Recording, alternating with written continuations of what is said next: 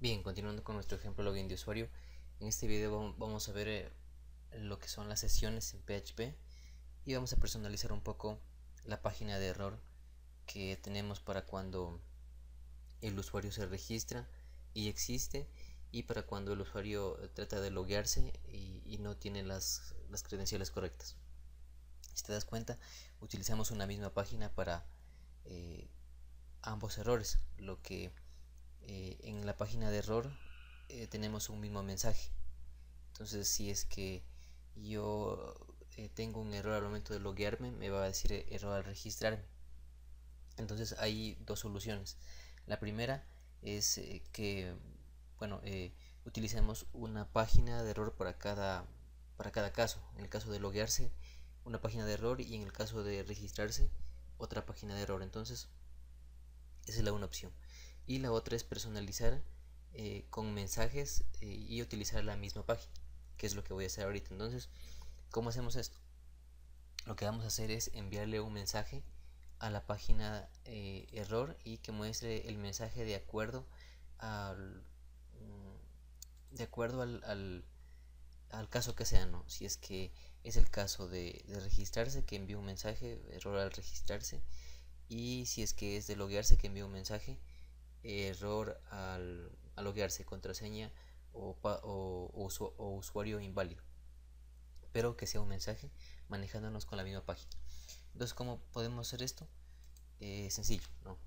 Eh, podemos enviar eh, variables desde un archivo PHP a otro archivo PHP a través de dos formas. La una es a través de post, utilizando un formulario como lo hemos hecho con el index, ¿no?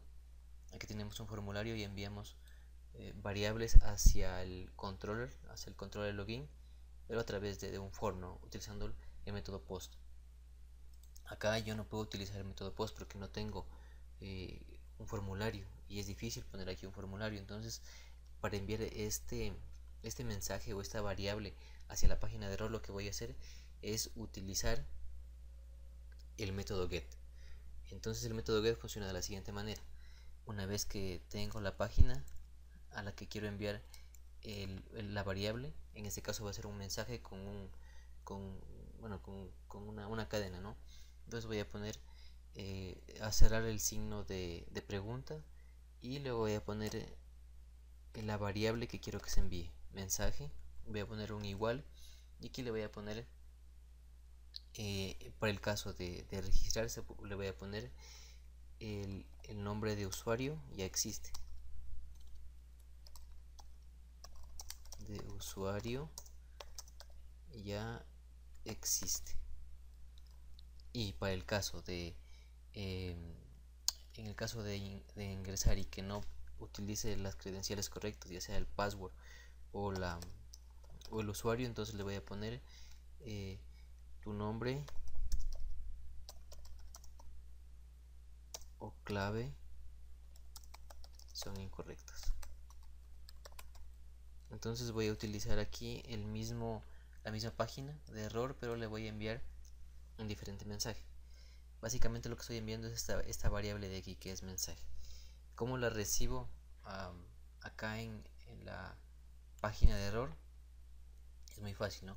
para esto eh, tengo que eh, ir eh, o tengo que embeber código PHP dentro de, de este H2 ya le voy a quitar lo que le había seteado en un inicio que es, un, una etiqueta h1 sí, y le voy a quitar esta parte. Y lo que voy a poner es eh, código php entonces una vez que he puesto el código php dentro le voy a poner un eco que me va a imprimir el mensaje. ¿cómo obtengo ese mensaje? a través del método que lo envíe el método get. Entonces utilizo la palabra reservada get. Y dentro de esto básicamente get es un, arreglo. Entonces dentro de, los corchetes voy a poner el nombre de la variable que yo quiero obtener que es mensaje.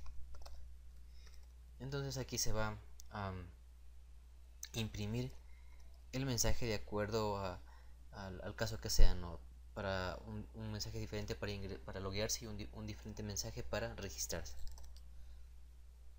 Entonces lo siguiente que vamos a hacer es bueno